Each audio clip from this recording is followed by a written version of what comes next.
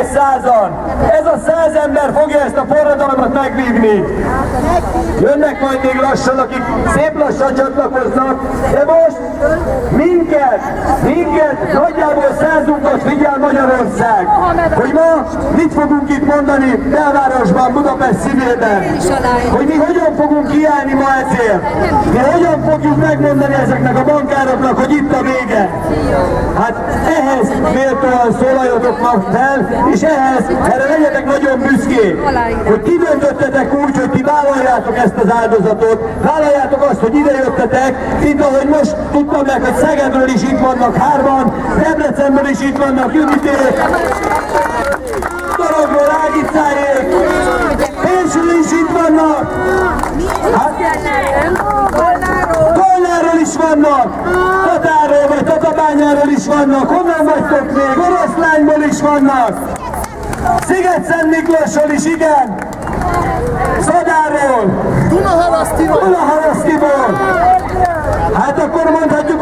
országos a rendezvény. Az egész ország itt van. Mindenhonnan a legbátrabb emberek jöttek el, és igaza van Zolinak. Van rettegni valójuk a bankároknak, hiszen ilyen emberek vannak itt. Továbbra is javaslom mindenkinek, hogy menjen iratkozzon fel felszólalásra Juditnál. Judit, merre vagy? Judit ott van, a kék füzetbe, az nem zöld dosszié, ez kék füzet, ahol fel lehet iratkozni, aki szeretne felszólalni, de mielőtt még tovább mennénk következő felszólalóhoz, ott a sarokban ül egy hölgy, Ibolya érvről, aki ma 60, 72 éves. Gratulálunk neked, Ibolya! Tehát látjátok, sem a távolság nem számít, sem a kor nem számít, sem a nem, nem számít, az számít, hogy mi van a szívetekben. Ha a szívetekben az igazság keresése van, akkor győzni fogunk, és ezek a mocskok retteghetnek. És most egy nagyon kedves hölgyet ma már hallottátok, azt mondta itt nekem valaki, hogy valami hottentotta nyelvet hallott, ki lehetett az, aki erről beszélt. Hát mondtam, hogy nem hottentotta volt, hanem spanyol. Szőke Györgyike, Szőke Lászlónő Györgyike, légy szíves!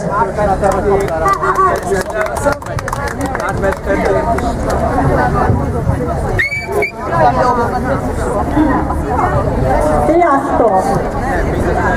Szeretettel köszöntöm a jelenlévőket, és valamennyi távol lévő sebizahiteles sorstársainkat. Megkérdezem tőletek.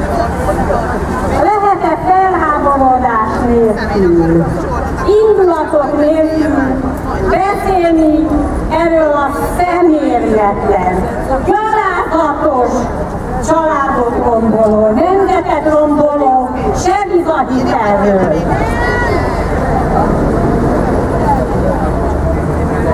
A bankok mindent megtettek azért, hogy a törvényeket lábbal tiporják. Ehhez hozzájárult a bankszektor, a bankszövetség helyesebben, az MNB és a fogyasztóvédelem. Így tudtak minket teljesen kifosztani. Ezek pénzügyi személy, már mindenki tudja. De az, hogy micsoda kárt okozta a magyar családoknak és az egyéneknek, talán forintban meg lehetne becsülni az értékét, de hosszú távon felbecsülhetetlen kárt okozta. Nem lehet elmondani azt, amilyen kárt okoztak a családoknak, szétszakadtak a családok, kicsi gyerekeket vettek el a szüleiktől, és kettek állami gondozásba, szólottak a kisgyerekeknek, a szülők mellett lenne a helye. Borzalmas dolgok történtek, emberek ezrei kerültek az utcára, több mint 4500 ember lett öngyilkos, sajnos a napunkban is egy sorstársunk feladta. Ezekért az emberekért mai gyertyát fogunk gyújtani. Ebben az országban nincs jogbiztonság, ahol egymás után hozzák kapkodva, sietve a törvényeket, és ha valami nem úgy van, ahogy a bankároknak tetszik, hát akkor egy torgolással áthúzzák, és legalizálják a csalást. Eddig hiába tiltakoztunk, de nem adjuk fel. Kitartunk, és mindenkit arra biztatok, hogy ne adja fel, és harcoljon. Álljon ki önmagáért, álljon ki a családjáért, és álljon ki a magyar emberekért. Ahol nincs demokrácia, mert ez nincs. Mert hogyha elmondod a véleményedet, akkor jó esetben eljárást indítanak ellened. És ahol nincs demokrácia, ott,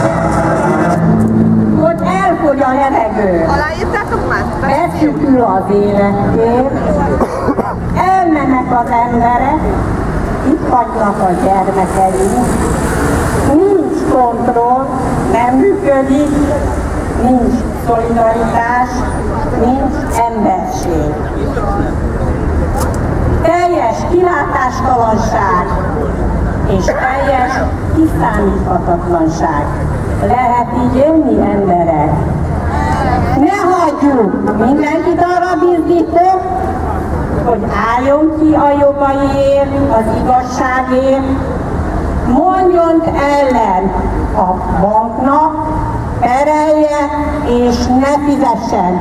És végül nagyköltőnk szavaival szeretném befejezni. Habár fölül a gája, és alul a víznek árja, azért a víz az úr!